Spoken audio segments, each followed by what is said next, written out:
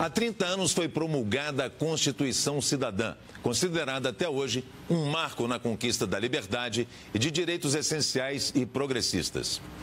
Em um processo de trabalho que durou 20 meses e teve ampla participação da sociedade, o empenho de 26 deputadas foi fundamental para garantir a igualdade de direitos entre homens e mulheres.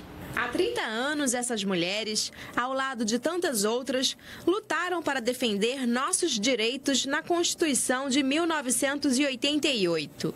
Intelectuais e ativistas políticas elaboraram a Carta das Mulheres aos Constituintes e lançaram uma campanha pelos direitos da mulher.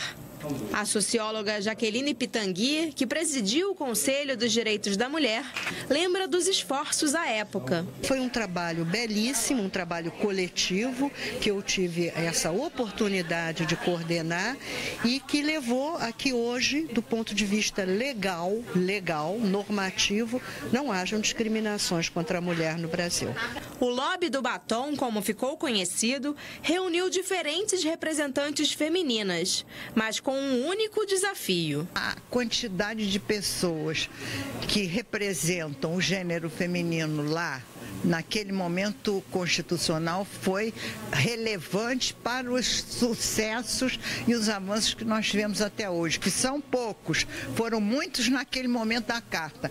Nesses 30 anos, eu acho que nós avançamos bem pouco em proporção ao que nós conseguimos naquele momento. Entre as grandes conquistas legislativas na chamada Constituição Cidadã estão a igualdade de direitos e salários entre homens e mulheres, a licença maternidade de 120 dias e mecanismos para garantir a erradicação da violência de gênero. Apesar das conquistas nos direitos da mulher, diversas propostas de mudanças na lei são consideradas retrocesso. Uma das formas de defender esses direitos e avançar na igualdade de gênero é a ampliação da representatividade feminina no Congresso Nacional. Se a gente tem no Congresso brasileiro em torno de 10% de mulheres, isso quer dizer o quê? Que a nossa legislação é feita por homens, em grande maioria, 90%, e para homens. Enquanto o Brasil não vivenciar uma igualdade de gênero, a gente não vai ter um Brasil plenamente desenvolvido economicamente e humanamente.